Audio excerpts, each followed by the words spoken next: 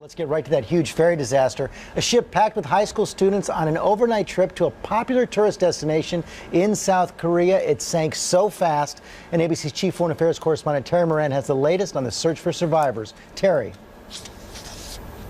Good morning, George. This is a desperate situation and it is ongoing. It was supposed to be a trip to paradise. 325 high school students, their teachers, other crew members and passengers all en route to the resort island of Jeju, the Korean Hawaii, it's called. And then disaster struck.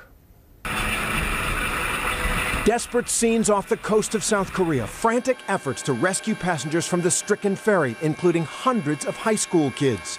More than 100 vessels and aircraft came to help. Then, a horrible sight the ferry sinks. Almost 300 remain missing. Young survivors describe the chaos. The announcement told us we should stay still, this student who scrambled to safety said, but the ship was already sinking and there were a lot of students who did not get out of the ship. Many passengers were at breakfast, others still in bed, when survivors say they heard a loud crash and the ship began shaking and immediately listing. It was very intense, this survivor recalled. The ship was tilted more than 45 degrees. Anxious relatives gathered at the school where the youngsters were students. Now, a scene of dread and fear and weeping. Survivors say many people may have remained trapped inside the ship when it sank in murky waters off the Korean mainland.